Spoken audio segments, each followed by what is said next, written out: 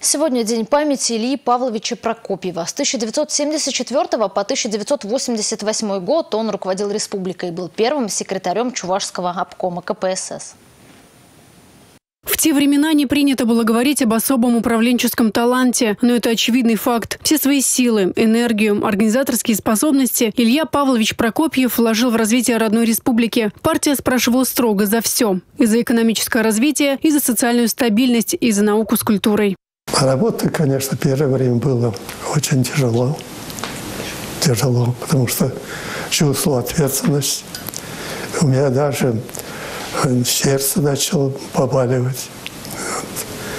И пульс постоянно в таком напряжении. Я постоянно, значит, в районах, в городах находился и чувствовал, люди относятся ко мне по-хорошему. И меня это как-то успокоило.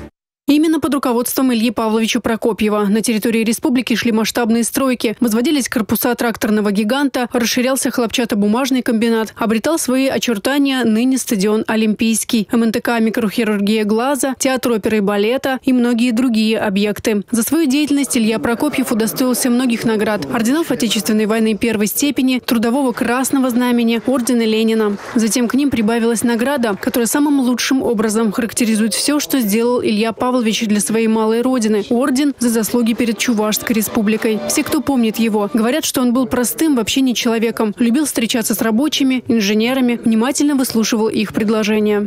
Действительно, я старался каждый год э, поздравлять его с днем рождения. Я приходил, э, но меня поражало, вот я об этом сегодня сказал, насколько, во-первых, человек скромный, э, насколько он интеллигентный человек.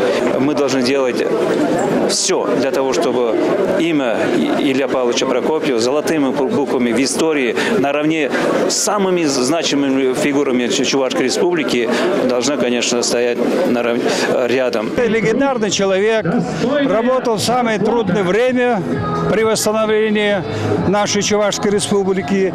При нем было построено очень много производственных предприятий, школ, больниц, много-много, все просто перечислить невозможно. Он очень порядочный, очень хороший человек. Именем выдающегося партийного деятеля Ильи Прокопьева назовут улицу в Чебоксарах. Соответствующий указ подписал глава республики Михаил Игнатьев. На фасаде дома, где он жил, будет установлена мемориальная доска. Галина Титарчук, Республика.